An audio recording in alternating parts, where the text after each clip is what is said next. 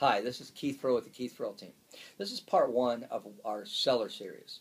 And today we want to talk about hiring the right realtor to represent you and help you find the right price for your house.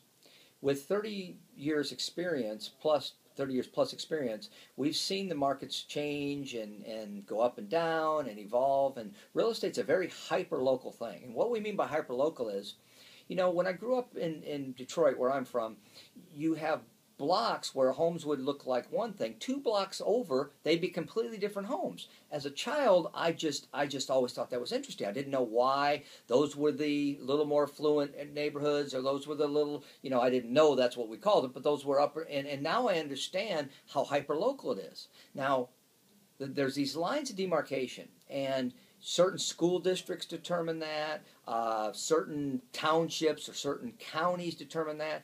But without someone with a lot of experience, we won't be able to, they wouldn't be able to help you maximize your dollars because what our job is as a listing agent is to get you every penny possible. I always say that the, that a buyer agent is trying trying to get you the low of a five percent window, and a listing agent or selling agent is trying to get you the top of that five percent.